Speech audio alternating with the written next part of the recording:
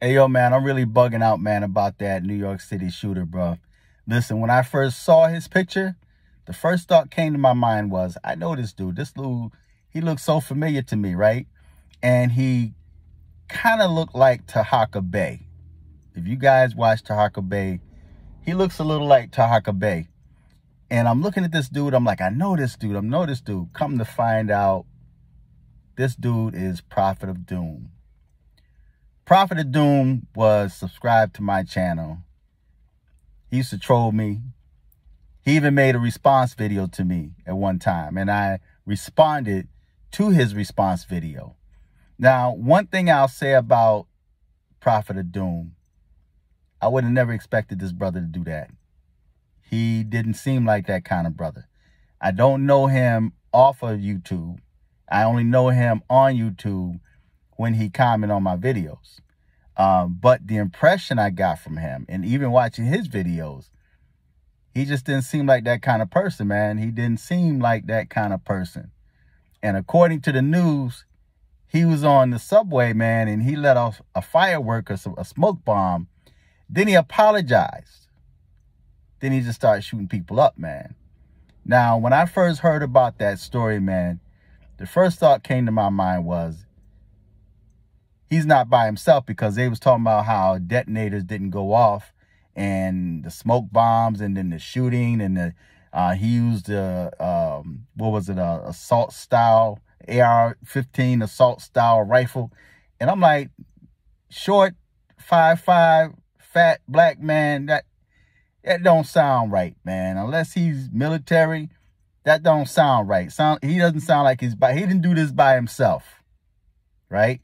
And then I'm sitting there thinking it just don't seem right. Something not something is not right. But then when more information start coming out, come to find out they were fireworks. I'm like, okay, I got it. Now, this dude was obsessed with Hassan Campbell. He made a lot of videos on Hassan Campbell. He made videos on Dr. Umar Johnson. He made videos on uh, Kwame Brown. He made videos on like so many other YouTubers, man. But again, like I said, he never, he's never, he's never been disrespectful to me. He was never, he never disrespected me in any kind of way. He was never threatening in any kind of way. He just didn't seem like that kind of person to me, man. He just didn't. So this kind of like surprised me. And the media said that when one of the fireworks went off, he apologized to the people, man. And then he just started shooting people. So I'm thinking, dude just snapped. If he did that, he snapped.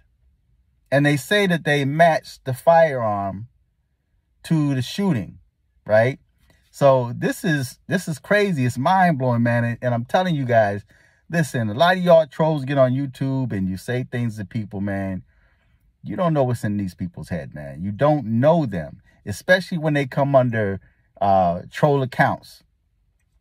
I've been threatened on YouTube and I'm the kind of person, man, I take every threat serious, man. I take threats serious.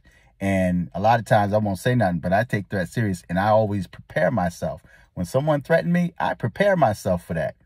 So I'm ready. I'm always ready, you know?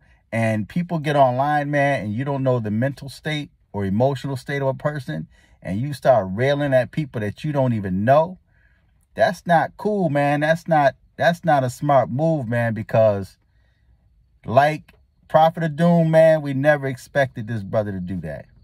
I would have never expected in a million years for him to do what was done in New York City and Brooklyn, man. So this is crazy. This is insane, man. I'm I'm my mind is still blown, man. Prophet of Doom. And man, I I he seemed like a cool brother even when he was trolling my account, man, and commenting on my videos, man, he still seemed like a cool brother.